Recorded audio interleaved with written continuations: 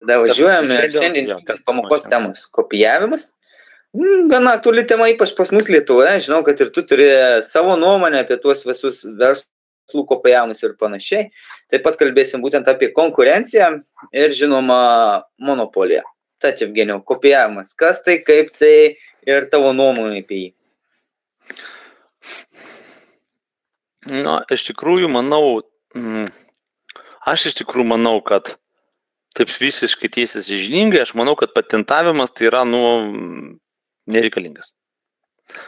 Pasakysiu, kodėl mano tokia nuomonė.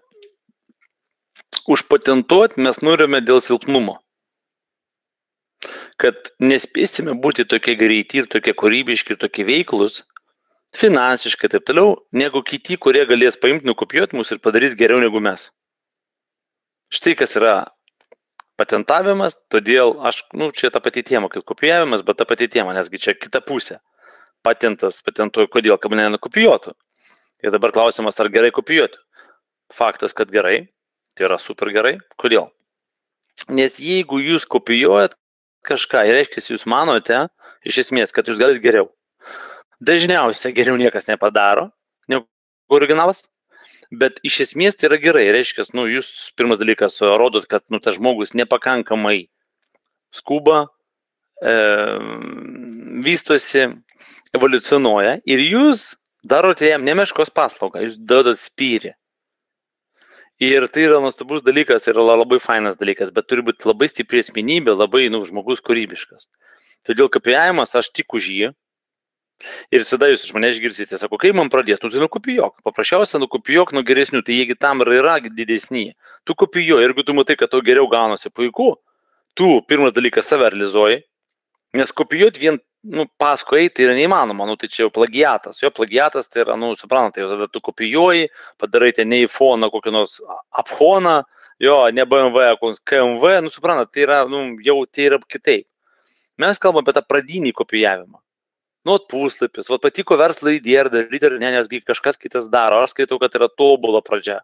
Čia yra super. Ir tos pagalbos yra daug aplink mus, bet mes ant tiek, vat, tokie, kad mes, oi ne, tai jau padaryta, aš nedarysiu, aš darysiu tai, kad ko niekas nedaro Lietuvoje. O kokiu būdu?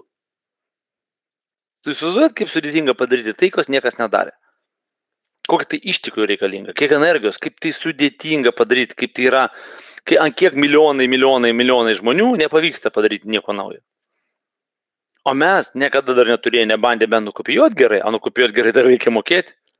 Paimk nukopijuot, nu ir ką, nu nukopijuokit, tai padarykit, bent taip pat, žinokit, dažniausiai nepavyksta, o čia norim dar patys kažką, po aš čia įsimaivysiu, todėl, kaip sakė, kas ten, Silvadoras Daly, ar kažkas, kad ten apie dailininkus jo, kad prasti dailininkai tapo, vidutiniai dailininkai kopijuoja, o didieji dailininkai vagia.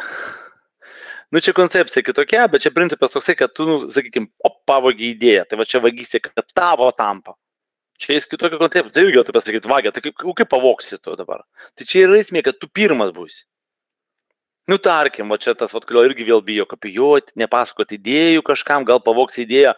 Tai be abejo pavoks, jeigu tu tinginys ir loderis ir tu nenori daryti. Ir tu tą idėją ten dešimt metų ten, o, kaip fainai, kaip aš darysiu, kaip aš darysiu, žiūriu pusę pasaulio padaryta. Todėl kopijavimas tai yra vienas iš būdų, iš tikrųjų, būdas pagalba jums, mums visiems Taip pat mes, kai mūsų kopijuoja, man tai, pažiūrėjau, rodiklis, kad teisingų kelių eini. Nes, nu, suprantat, šiandien labai kopijuoja. Kopijuoja iš esmės gerus dalykus. Nu, bet jeigu nesigauna kažkas, taigi niekas nekopijos to.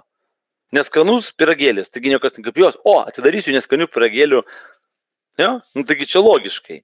Reiškia, tai yra, jeigu kopijuoja, reiškia, tai puiku, reiškia, teisingų kelių einat. Jūs pardo į užpakalį, skatina eiti toliau. Nu, viskas kaip ir nesudėtinga. Todėl kopijavimas yra nuostabus dalykas, jis nėra jokių būdų blogas, bet jeigu žmogus silpnas, jeigu žmogus tinginys, jeigu jis nori neaukti pats evoliucionuoti, vystytis, jos skubėti į ateitį, į priekį, o nori kitus vėl diktatūrą, vėl jūs nekopijuokit, jūs tokie blogi. Ir reiškia, nu, kad, kad būti didesniu, reikia žeminti kitus. Nu, tai čia ta pati tema.